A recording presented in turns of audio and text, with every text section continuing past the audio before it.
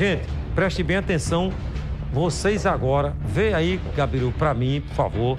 Vocês do YouTube agora, se liguem. Eu quero que tire a nossa imagem. Tá, tira a nossa imagem. Vai acompanhando, Gabi. Tira a nossa imagem e bota essa daí. Escute bem. Tá vendo esse rapaz da moto?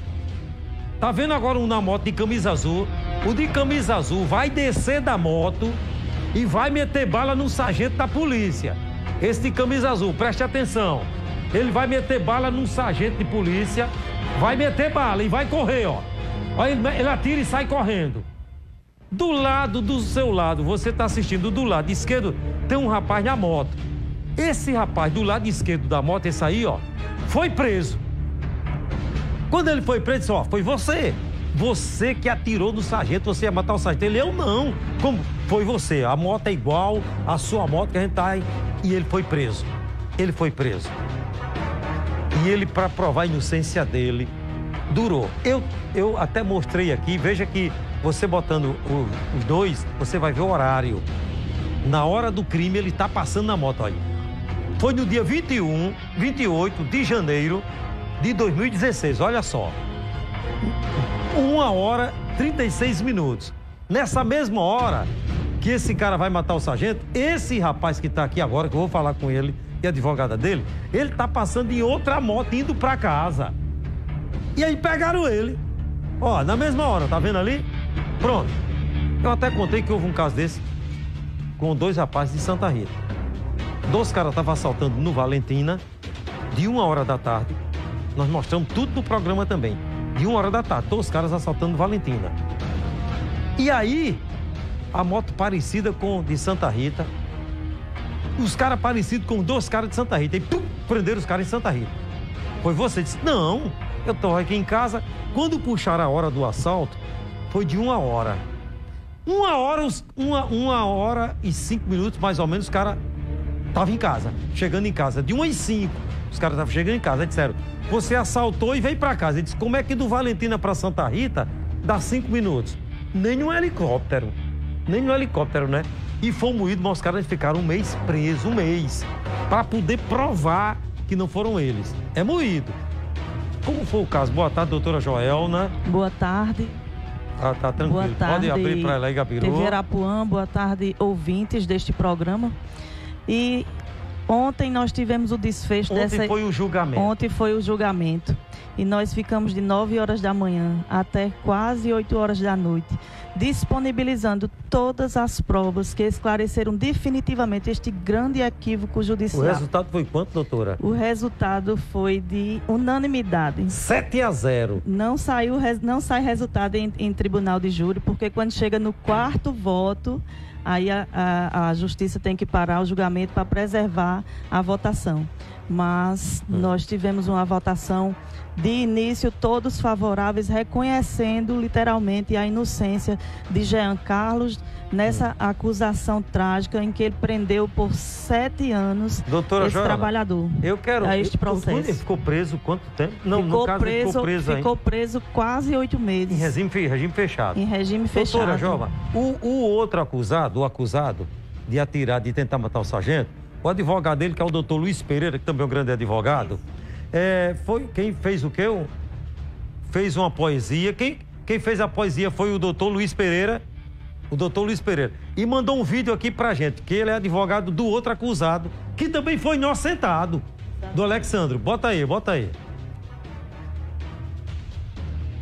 Essa emoção aqui de falar sobre Braulio Bessa, eu me coloco até na disposição de encerrar com um improviso. Posso dar o mote então, excelência?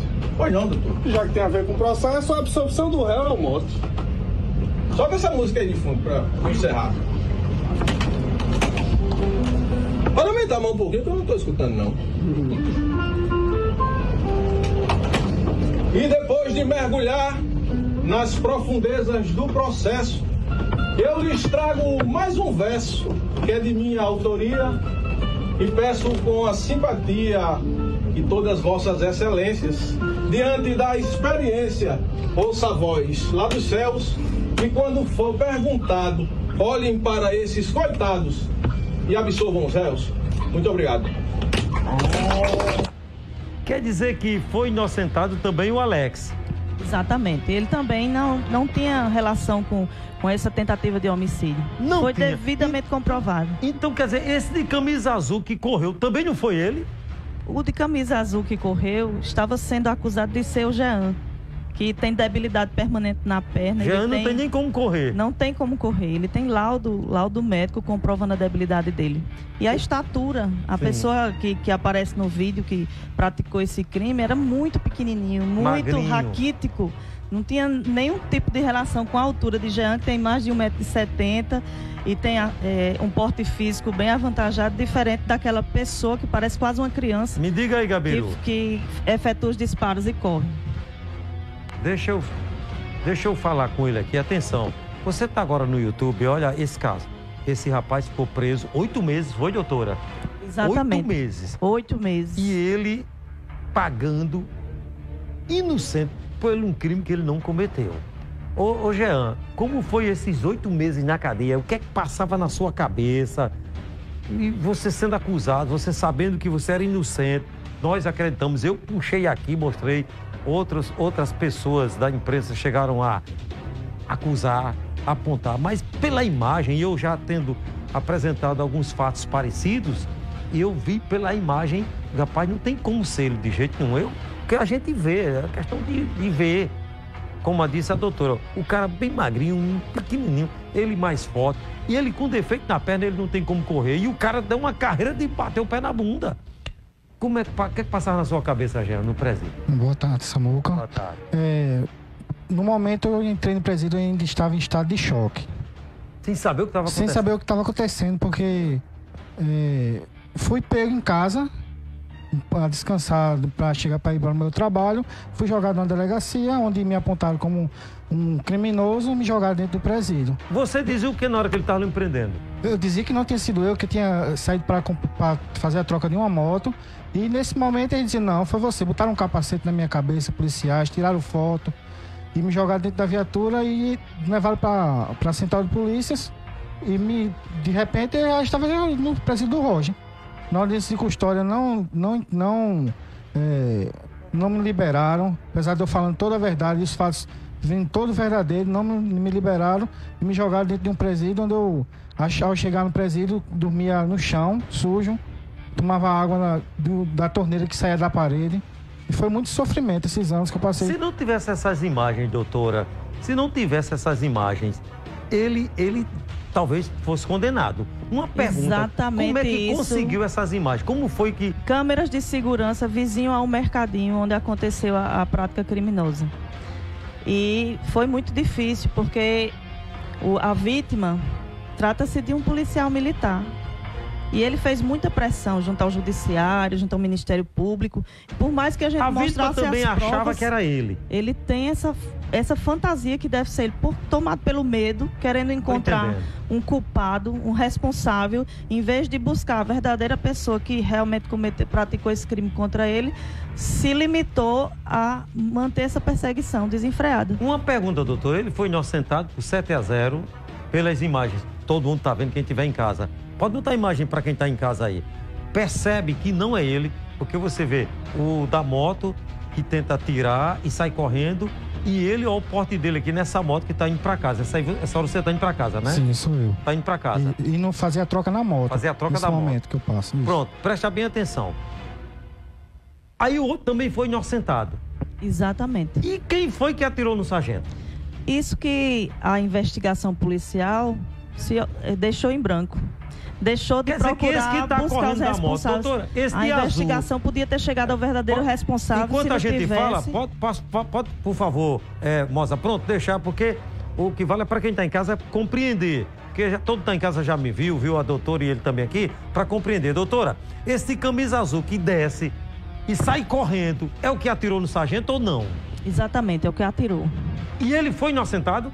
Foi ele que foi inocentado? Ou foi outro que O também que saiu correndo foi o que cometeu o crime. que cometeu o crime?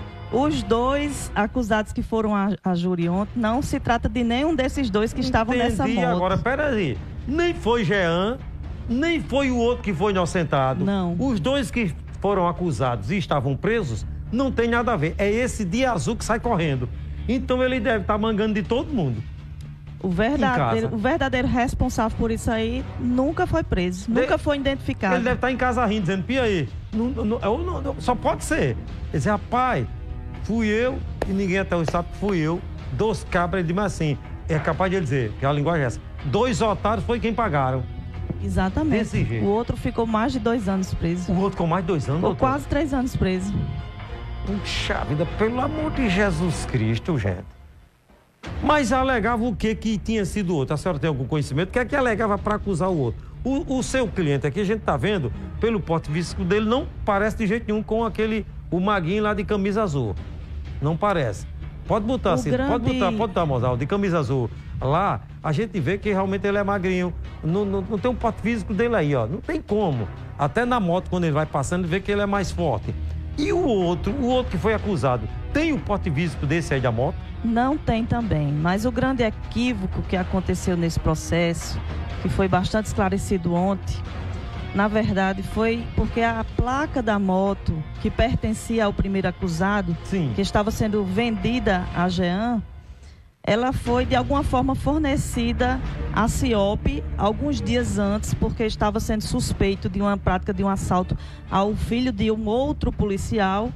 E a polícia estava no encalço da placa desta moto, ah, buscando rapaz. encontrar quem praticou este assalto contra um policial. E aí, quando é, é. surgiu esse novo acontecimento, foi o primeiro alvo da polícia. A é. polícia é. queria encontrar rapidamente um culpado. Então, nesse caso, a polícia não tem culpa também. A polícia não tem culpa, Tava ela investigando. já tinha a placa é. e partiu para investigar. E você sabe que a pressão é muito grande em cima da polícia para é. encontrar culpado, é muito grande em cima do Ministério Público para também realizar uma denúncia e nesse, nesse afã de realizar tudo às pressas é que acontecem esses erros judiciários. Doutora Jona, eu quero lhe agradecer, Deus lhe abençoe, graças a Deus que deu tudo certo, não é? Graças a Deus, parabenizar a Justiça, o Ministério Público que compreendeu, que entendeu depois da investigação, parabenizar a polícia também, é como disse ela, a polícia está investigando, não é fácil, vai em cima de uma coisa, de outra, e termina, mas no final deu tudo certo. Mas nós viemos aqui especialmente agradecer a toda a equipe da Arapuã, da TV Arapuã, a sua pessoa, Samuca obrigado, Duarte, obrigado. que neste programa de relevante utilidade à sociedade é, prestou essas informações com muita clareza, pré-anunciando a realização da justiça. Agradecemos a Deus e agradecemos a todos vocês. Agora vou Agradecer a você, lhe dar um abraço, viu, meu irmão? Um abraço. Tá liberado, meu irmão. Em nome de Jesus. Em Jesus Cristo, viu, cara? Deus lhe abençoe, viu? Obrigado, Samuca. Deus obrigado proteja, a todos. doutora. Um abraço, viu, doutora? Deus abençoe. Tá? Amém. Graças a Deus, né? Graças a Deus. Essa música é pra você, essa aí, ó. Ele me ouve, me atende. É um abraço, um abraço. Ô, Beterraba, dê um alguém aí. Se tiver aquele doce, aquele quebra-queixo, dê pros dois aí um caneco d'água agora. Viu? Tá aqui, doutora. Dá aí, doutora. Aí, aquele quebra-queixo pra ele tá ali em cima da mesa. Tem doce quebra-queixo no São João, aqui é quebra-queixo, quebra dentro, quebra tudo. Entendeu? E um caneco d'água.